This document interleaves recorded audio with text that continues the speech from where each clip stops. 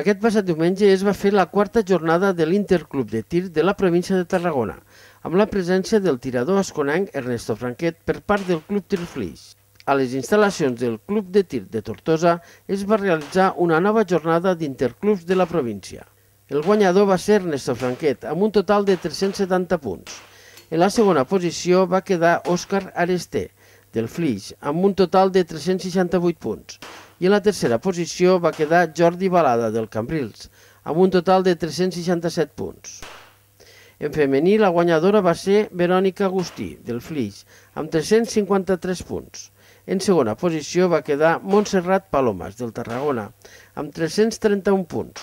I el tercer lloc va ser per Patricia Cruz del Tortosa, amb 298 punts.